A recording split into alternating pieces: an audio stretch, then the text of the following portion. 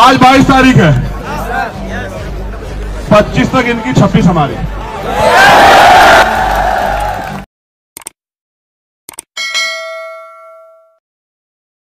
आजकल हर जगह एक नाम बहुत सुनने में आ रहा है, जो है चंद्रशेखर, और हमारे दिमाग में ये सवाल ज़रूर आता है कि आखिर कौन है चंद्रशेखर? और हाल ही में उभरे नेता चंद्रशेखर कैसे दे रहे हैं बड़े बड़े नेताओं को मात? तो चलिए जानते हैं।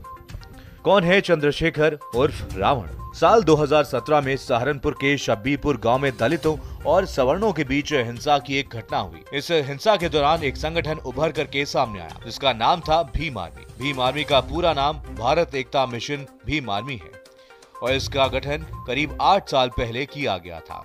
इस संगठन के संस्थापक और अध्यक्ष हैं चंद्रशेखर, जिन्होंने अपना उपनाम रामवड़ रखा हुआ है। पेशे से वकील चंद्रशेखर के परिवार में दो बहनें, जिनमें से एक की शादी हो चुकी है और दो भाई हैं। चंद्रशेखर खुद भी अविवाहित हैं। उनका दूसरा भाई पढ़ाई के साथ साथ एक मेडिकल स्टोर पर नौकरी करता है। एक चचेरा भाई है, जो इंजीनियर है। गाँव के कुछ युवाओं ने मिलकर के बनाई भीम आर्मी शब्बीरपुर में हुई हिंसा के बाद रावण ने 9 मई 2017 को सहारनपुर के रामनगर में महापंचायत बुलाई।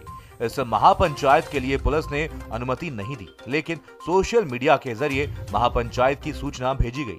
सैकड़ों की संख्या में लोग इसमें शामिल होने के लिए पहुँचे, जिन्हें रोकने के दौरान पुलिस और भीम आर्मी के समर्थकों के बीच संघर्ष हुआ और इसके बाद चंद्रशेखर के खिलाफ मामला दर्ज कर उन्हें गिरफ़्तार कर लिया गया। करीब छह साल पहले 2011 में गाँव के कुछ युवाओं के साथ मिलकर चंद्रशेखर ने भारत एकता मिशन आर्मी करीब छह साल पहले 2011 में गाँव के कुछ युवाओं के साथ मिलकर चंद्रशेखर ने भारत एकता मिशन भीम आर्मी का गठन किया था। भीम आर्मी आज दलित युवाओं का एक पसंदीदा संगठन बन गया है।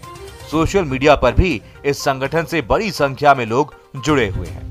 खास बात यह है कि संगठन में दलित युवाओं के साथ साथ पंजाब और हरियाणा के सिख युवा भी जुड़े हुए हैं। सहारनपुर, शामली, मुजफ्फरनगर समेत पश्चिमी यूपी में ये संगठन अपनी खास पहचान बनाए हुए है। हिंसा के वक्त मौके पर नहीं था मौजूद। चंद्रशेखर जिस समय भीम आर्मी का गठन किया गया था, उस समय इस संगठन का उद्देश्य दलित समाज की सेवा करना और इस समाज की गरीब कन्याओं के लिए धन जुटा करके उनका विवाह करना था। रामनगर में हुए बवाल के बाद इस संगठन का स्वरूप बदल गया। चंद्रशेखर का कहना है कि जिस दिन ये बदलाव हुआ, उस दिन वो परिवार के सदस्यों के साथ अपने गाँव छुटमलपुर स्थित घर पर थे। चंद्रशेखर बताते हैं कि 10 मई को रामपुर में हुई वारदात में सभी लोग भीम आर्मी के सदस्य नहीं थे।